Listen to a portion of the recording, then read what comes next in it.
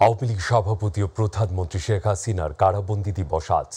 তত্ত্বাবধায়ক সরকারের সময় দু হাজার সাত সালের এই দিনে ধানমন্ডির বাসভবন সুধা সদন থেকে গ্রেপ্তার করে তাকে।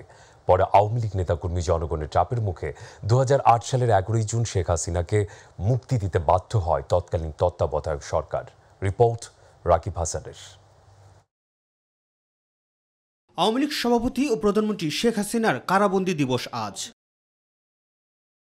তত্ত্বাবধায়ক সরকারের সময় দু হাজার সাত সালের এদিনে ধানমন্ডির বাসভবন সুদাসদন থেকে গ্রেফতার করে তাকে। প্রায় এগারো মাস শেখ হাসিনাকে রাখা হয় সংসদ ভবন এলাকার বিশেষ কারাগারে। ওই দিন সকাল সাড়ে সাতটার দিকে যৌথ বাহিনীর সদস্যরা আওয়ামী লীগ সভাপতিকে গ্রেফতার করে ঢাকার সিএমএম আদালতে হাজির করলে আদালত জামিন নামঞ্জুর করেন।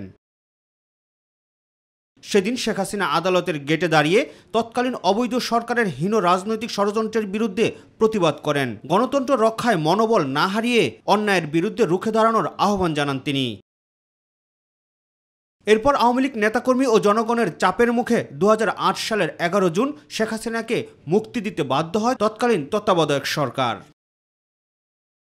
Rakib Hasan, my TV.